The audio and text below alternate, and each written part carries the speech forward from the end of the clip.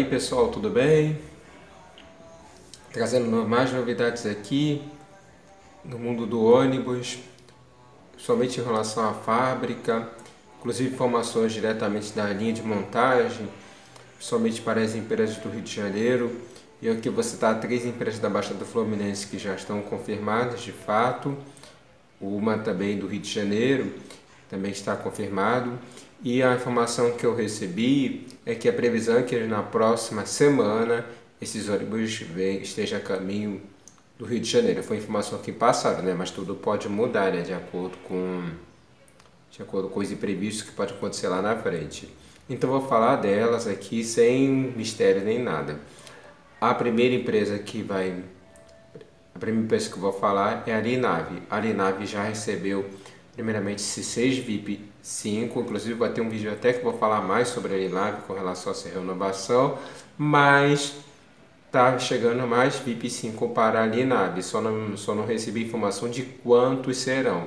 O pessoal que acompanha no meu canal me ajude a me informar melhor de quantas quantidades virão para a Linave desses VIP 5. É a outra empresa é a Santo Antônio, como eu já fiz vários vídeos falando da Santo Antônio, é o que eu falei, a Santo Antônio está preparando uma grande renovação para este ano. E a informação que eu recebi é que serão mais 30 VIP 5 para Santo Antônio, para se juntar a esses que já estão. A Santo Antônio realmente quer baixar os veículos mais antigos sem ar-condicionado e a ideia é climatizar toda a frota com ar-condicionado, que está sendo feito gradativamente e também vai chegar junto com esses VIP 5 da Linab, provavelmente no mesmo período. E a terceira empresa que eu vou falar também é da Baixada Fluminense, essa depois de algum tempo, que já estava um tempo sem renovar, era, já um tempo sem comprar veículos da Caio e voltará a comprar, é a Aviação União de Duque de Caxias. Foi informação também que eu recebi que, só que eu não tenho foto, porque é um ônibus que ainda está na, linha de, na linha de montagem, mas virá para a Aviação União de Duque de Caxias, que é uma grande surpresa para, para a empresa. Agora uma empresa do Rio de Janeiro também que vai, que também ônibus está na linha de montagem, é a Aviação Nossa Senhora das Graças.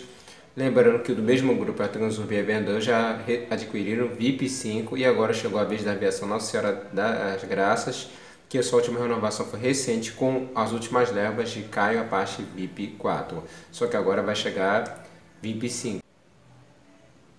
Lembrando que a Graças foi uma das empresas que vendeu alguns veículos para a cidade de Manaus para atender a, a cidade Manaus não, perdão, Rio Branco lá no estado do Acre para atender transporte público de lá.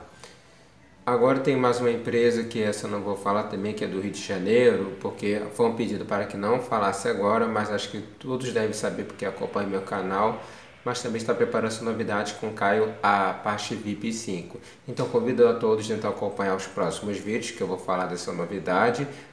E para acompanhar tem que se inscrever no nosso canal, ativar o sininho e acompanhar todas as notificações, ok? O compromisso que eu tenho com vocês é estar assistindo sempre os nossos vídeos. Aguardo vocês. Então, forte abraço para todos e até a próxima.